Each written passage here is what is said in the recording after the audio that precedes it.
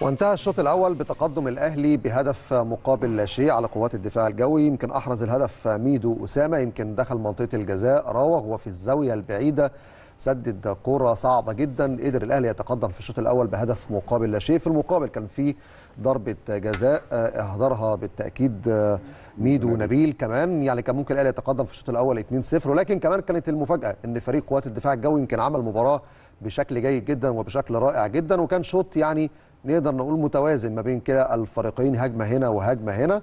ولكن في النهاية بالتأكيد مهم جدا كمان أسمع رأي محللينا على نتيجة الشوط الأول والأداء اللي ظهر به لاعبي النادي الأهلي. كابتن حشيش تعليقك.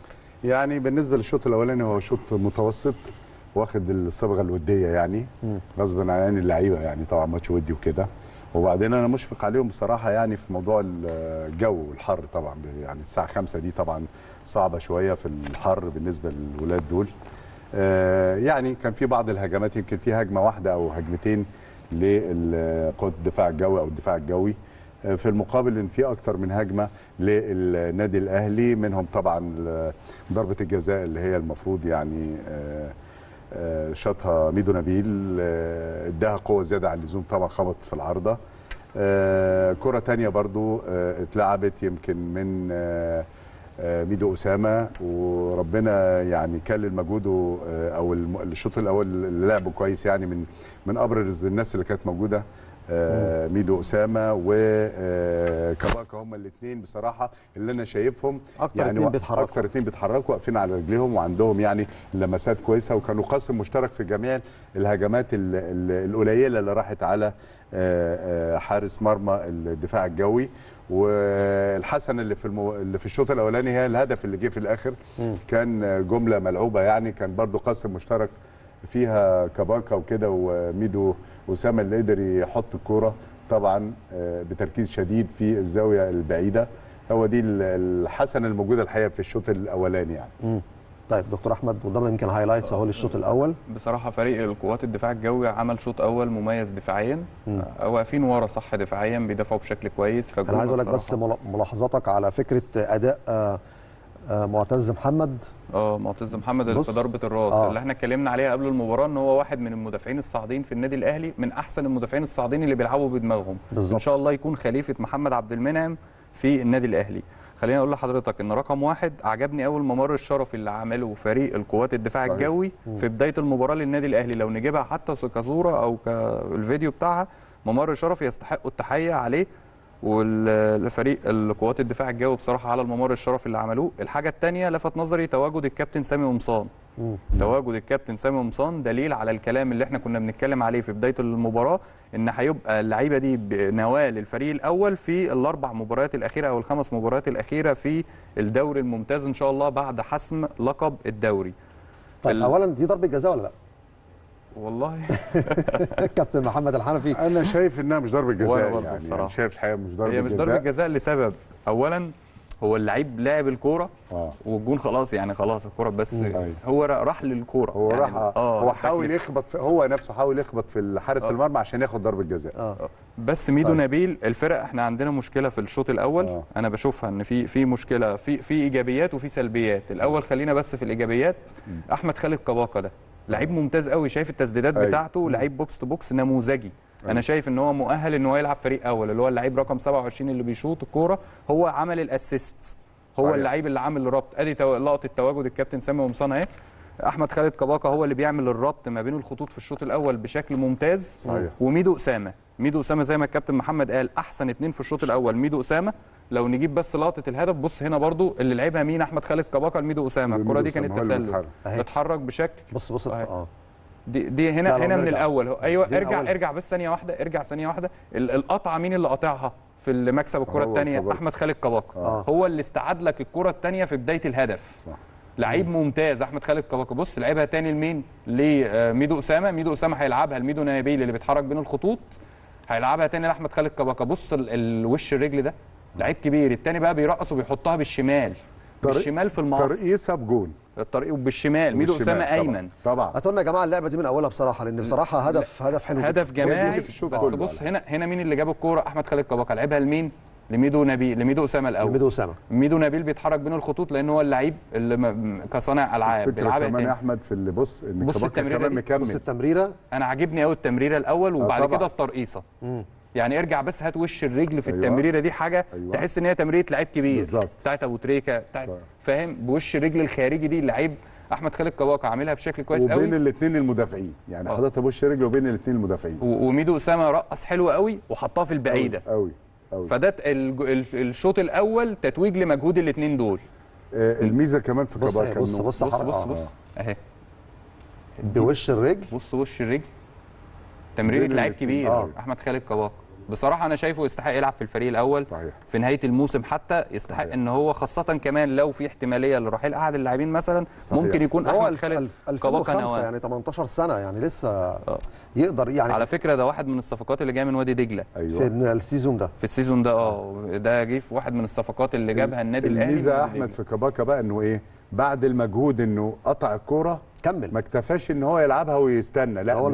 كمان ورايح في حتة الشمال هو قطع الكورة أفسد هجمة بالظبط. وصنع هدف. وكمل كمان فيها. وصنع هدف وصنع هدف. دي دي الاجابه بس أنا بقى شايف في سلبية. اولا أنا شايف بطء في تحضير الهجمة. قوي. أنا بصراحة في كمان حاجة تانية. شايف إن ثلاثة ورا مش حلو قوي في ماتش زي ده. آه. أنت محتاج تهاجم أكتر محتاج طبعا. تروح أكتر. أنا شايف إن مثلا مع معت- إبراهيم عبد الحكيم وعبد الجواد عبد الرحمن حتى كنا بنتكلم إن إبراهيم عبد الحكيم بيضطر يخش في وسط الملعب. مظبوط. فممكن يطلع واحد منهم وتقدر تنزل واحد قدام زي محمد رأفت أو حسام عادل أو إبراهيم عادل مثلا بحيث إن أنت تعمل زيادة أكتر في وسط الملعب وتقدر تجيب جون تاني تسجل عشان تحسم المباراة يا أحمد الثلاثه اللي ورا دول بيدوا فرصة للطرفين إن هم يتحركوا. يتحركوا. قدام بس يعني مش يعني هي شايفين- لو جيت تبص صح. عليها إن أنت الثلاثه ورا دي بدي فرصة للاثنين اللي قدام طايرين لأن أنت. موقف ثلاثة صح ومع ذلك ما بتحصلش فيعني الزيادة العددية قليلة وبعدين في بعض اللعيبة لازم يبقى في أنشط من كده زعلوك لازم يتحرك أكتر من كده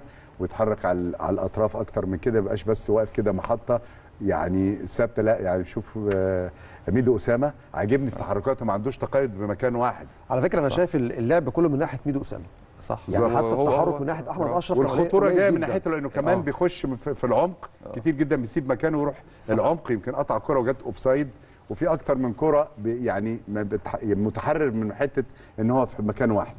فهم الاثنين بصراحة دول أنا شايف إن هم يعني الاثنين اللي لفتوا الأنظار الشوط الأولاني كباكا وميدو اسامه وميدو اسامه الجبهة الشمال عندنا شغالة أكتر من الجبهة اليمين لأن طيب. فيها ميدو اسامه وفيها معتز محمد اللي هو المساك تمام. وبيميل عليهم كباكا وبيروح معاهم إسلام عبد الله ال back left.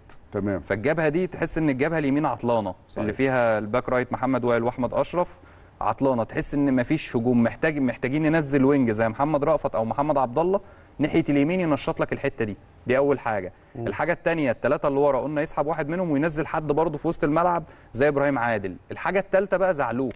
آه. زعلوك برضه محتاج يكون أكتر من كده شراسة لازم- وأكتر من كده ضغط. تحرك ويروح وي- يا إما ندي فرصة لحسام. عادل. بالظبط. حسام عادل مواليد 2006 ممكن برضه يكون لي فرصة. وحسام عادل فيه ميزة إن هو متحرك جدا جدا وبيقرف في المدافعين ويعني ممكن عن طريق الضغط على المدافعين في ماتش. زي ده لأن هم أكيد الفرقة الثانية ما بتتمرنش يعني بصفة آه، أكيد. رسمية. هو فممكن تلاقي كرامبات كتيرة في الشوط الثاني والمستوى البدني هيقل قوي في جزئية مهمة يا كابتن حشيش الفريق اللي بيلعب بيه الأهلي دلوقتي المفروض قطاع الناشئين خلص مسابقاته كلها من شهر طبعاً، أربعة طبعاً. أو خمسة آه، اعتقد في أوله آه، كمان طبعا هل الفترة دي كانت في تدريبات عشان تقدر تكون أنا مش فريق؟ متأكد من الموضوع لا لا ده كان في كان في في كان في تدريبات. تدريبات هو الكابتن اللي هو يعني كانوا بيعملوا في الفترة دي من 2005 و2006 بيحاولوا عشان ما يظلموش حد فالفريق 2005 و2006 متجمعين مع بعض وبيختاروا من منزلينهم تمرين بيختاروا؟ آه الصفوه؟ الكابتن بدري رجب بيختار بنفسه مش عايز يظلم حد فهو آه. نازل بنفسه عشان انت مثلا بيبقى عندك قائمه هنا فيها 30 لاعب صحيح. وقائمه 30 لاعب هتصفي 2005 و2006 ل 30 لاعب بس بالظبط. فعشان ما يبقاش في ظلم فنازل يشوف بنفسه اللعيبة اللي بتلعب يعني مثلا هدي لحضرتك مثال آه، عمار وليد مم. عمار وليد ده مواليد 2006 كان بيلعب في النادي الأهلي السنة دي ما لعبش كتير هو كابتن بدري رجب نزل التمرين اتفرج عليه وشافه اقتنع بيه. فهو استغرب اللعيب ده ما بيلعبش ليه؟ بدل ما كان هيمشيه من النادي الأهلي. بص الرؤية بقى. بص الرؤية آه. المفاجأة بقى. المفاجأة إن عمار وليد ده wing. السنة اللي فاتت هو بيتكلم يعني دي من ضمن الكواليس بيتكلم مع الجهاز الفني بيقول له إن هو يلعب back right السنة الجاية. back right ليه؟ بيلعب wing. هو كان بيلعب wing آه. هو شايف ان هو يلعب back right عشان خاطر حتة السرعات حتة إن هو ي- يديك عملية التحولات قدام لأن عمار وليد لعيب سريع. فهنا النادي الأهلي في الفترة دي بيعمل تدريبات آه لفرقة 2005 و2006 عشان ما يحصلش ظلم لبعض اللعيبة. مهم خاصة إن فرقة 2005 و2006 هيبقوا فرقة واحدة بس اللي هي فرقة صف. أنت 2005 محتاج تصفي لعيبة. فبتوع 2006 هيلعبوا مع مين؟ مع بتوع 2005 فخلاص فأنت هيصفوا ل 30 لاعب عشان ما يحصلش ظلم. عشان. كده أنا في رأيي إن في الشوط الثاني لازم يعمل أكبر كم من التغييرات عشان برضو يشوف. أكتر ناس لأن. الماتش في الآخر وفي الأول ده ماتش ودي. والغرض منه إن يتشاف طبعا المشاركة في في احتفال كبير زي ده. وفي نفس الوقت بقى شوف اللعيبة. ما تدي فرصة بقى وإحنا. طبعا لا في وقت إضافي ولا حاجة لو في تعادل ضربات جزاء. على طول. فيعني يدي فرصة بقى للناس تت- تتشاف يعني. وجود الكابتن سامي قمصان أعتقد مهم جدا بالنسبة للجهاز الفني للفريق الأول. آه، أول حاجة دي ميزة قناة الأهلي بقى. آه. ان إن بتذيع ومع ذلك هو ما اكتفاش إن هو يقعد في البيت يتفرج. ما كان ممكن يعني هو يعني أعتقد إن هو حب إنه يحضر في الملعب. إنما كان ممكن يقعد في البيت يتفرج على المباراة من آه، آه، من على شاشة قناة الأهلي. إنما هو حب يروح عشان يبقى موجود. فدي لأن هو المفروض في أجازة دلوقتي يعني. بعد طبعا الماراثون بتاع إفريقيا والبطوله فكون إنه يروح ده حاجة كويسة منه إنه يبقى موجود جوه الملعب هيدي برضه اهتمام للمباراة من اللعيبه لما تلاحظ إن حد من أفراد الجهاز كابتن سامي قمصان موجود في الملعب ده بيحمسك برضو زيادة إن الراجل جاي يتفرج علينا يعني أكيد. في مباراه وديه وأكيد ودي هيكتب حاجة تقرير كويسه كمان. مليون في مليون في هيكتب المية. تقرير مش هيكتفي. كمان بالتقرير آه. بتاع يعني الجهاز آه. الموجود لا هو جاي بنفسه برضو يبص. بص لأن لو في بعض العناصر زي ما اتكلمنا قبل المباراة إن أنت لو حسمت الدوري بدري هيتبقى لك مثلا خمس أو أربع مباريات تقدر صحيح. إن أنت تدفع بيهم ببعض العناصر. الفريق الأول بأربع. خمس لعيبة من وبرده مش هيلعبوا مرة واحدة. يعني مش كل مش هنلعب بفريق الشباب مرة واحدة. أكيد لأن هيبقى عندك الزمالك وبيراميدز. أكيد صحيح. هتطعم ببعض الناس اللي هي زي خالد كباكا أحمد خالد كباكا مثلا زي معتز محمد زي ميدو اسام اللعيبة اللي هي ماشية بشكل كويس تستحق فرصة أكيد هتاخد. صحيح.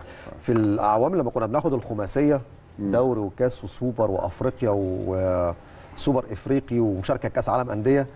كان بيصادف إن الأهلي يكون خلص الدوري. آه. أو بيلعب الكاس بالصف الثاني وكان بيلعب الزمالك. آه. كان ساعتها أنا فاكر الفترات دي كان في مستر مانويل وكان في خسرنا ماتش. واحد ساعتها. خسرنا ماتش واحد بس آه. بس كسبنا باقي الماتشات كلها. آه. وكنا بنلعب بالصف الثاني آه. وهم كانوا فرحانين ساعتها آه، إن لا. هم كسبوا مانويل جوزيه في الماتش ده رغم إن كنا بنلعب بالشباب. طيب تعال بقى نشوف الممر الشرفي. لأن الممر الشرفي ده هنشوفه كتير الفترة الجاية في الدوري على فكرة. كل ما هتلاعب فرقة في الدوري أكيد هتعمل نفس الممر الشرفي. الممر الشرفي ده يا دكتور أحمد أعتقد بيبقى نفسيا ومعنويا مهم جدا. حتى لو ما كنتش أنت ليك دور في البطولة الإفريقية بس أنت بترتدي تي شيرت الأهلي. لقطة الشوط الأول. آه. هي اللقطة دي في كل التحية لفريق قوات الدفاع الجوي على الممر الشرفي اللي عملوه للنادي الأهلي. وبصراحة تحية ليهم على أدائهم في الشوط الأول. أنا اتفاجئت من أدائهم بصراحة. طبعا. أداء ممتاز طبعا. وبيدافعوا بشكل كويس. وعندهم برضو الاثنين اللي قدام كويسين. يعني مم. بيروحوا على الجون.